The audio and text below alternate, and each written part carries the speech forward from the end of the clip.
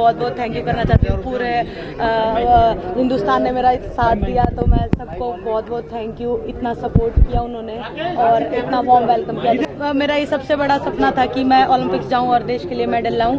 तो ये बारह साल से मैं इसके लिए मेहनत कर रही थी तो आज पूरी हुई है जी। अब तो बस कुछ दिन तो थोड़ा रिलैक्स करूँगी, क्योंकि इतना बड़ा कंपटीशन के बाद सबको थोड़ा रिलैक्स चाहिए होता है। फिर उसके बाद वही हमारा जो होता है ट्रेनिंग सुबह। सुबह तो घर का खाना तो मुझे नहीं लगता मिलने वाला है। तो अभी तो पता नहीं कब नसीब होगा जी।